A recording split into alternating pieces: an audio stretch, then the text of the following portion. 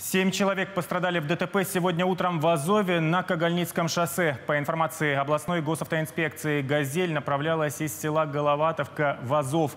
На кадрах с места происшествия видно, как правую часть автобуса буквально разорвало.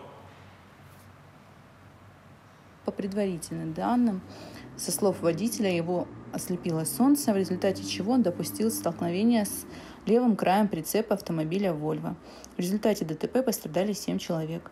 Женщина 1979 года была госпитализирована, женщина 1983 года находится в реанимации. Добавлю, после ДТП областная прокуратура организовала проверку соблюдения требований законодательства в сфере безопасности дорожного движения.